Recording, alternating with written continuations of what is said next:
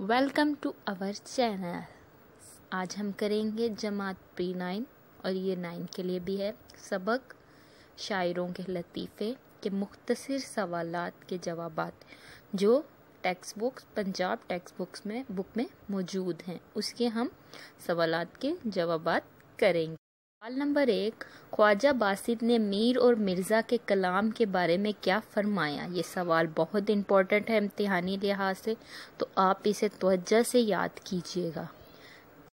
ख्वाजा बासित ने मीर तकी मीर और मिर्ज़ा सौदा के कलाम के बारे में फरमाया कि दोनों साहब कमाल हैं, मगर फ़र्क सिर्फ़ इतना है कि मीर का कलाम आह है और मिर्ज़ा कलाम वाह है। मतलब कि जो भी मीर का कलाम सुनता है है, उसके दिल से आह निकलती है। जो मिर्ज़ा का कलाम सुनता है, उसके दिल से वह निकलती है। ठीक है?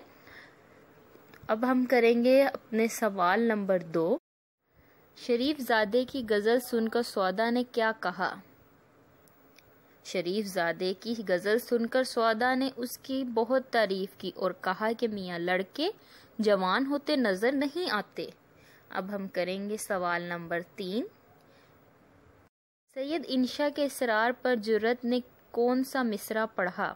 सैयद इंशा के इसरार पर जुरत ने यह मिसरा पढ़ा। इन जुल्फों पर भुपकती शब्द चोर की सूझी।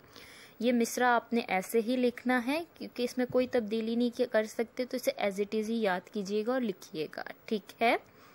अब हम करेंगे हमारा सवाल नंबर चार।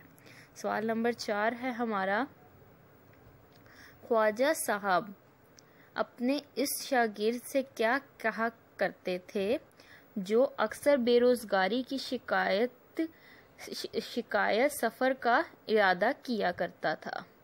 ख्वाजा साहब उससे कहा करते थे कि, मियाँ, कहाँ जाओगे? दो घड़ी मिल बैठो। मिल बैठने को गनीमत समझो और जो खुदा देता है उस पर सब्र करो। ठीक है? अब हम करेंगे हमारा सवाल नंबर पाँच। साहब आलम की ज़ुबान से इस वक्त क्या निकला जब हकीम एहसनुल्ला खान ने जल्दी से उनके आने और जाने के इजहार ताजुब किए? यह सवाल भी बहुत इम्पोर्टेंट है इम्तिहानी लिहाज से।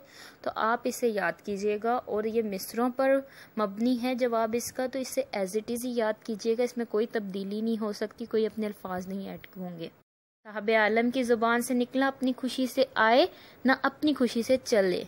ठीक है? ये हमारे सवाल मुकम्मल हो गए। आपको चैनल हमारा पसंद आया, इसको सब्सक्राइब करें और लाइक करना ना भूलिएगा।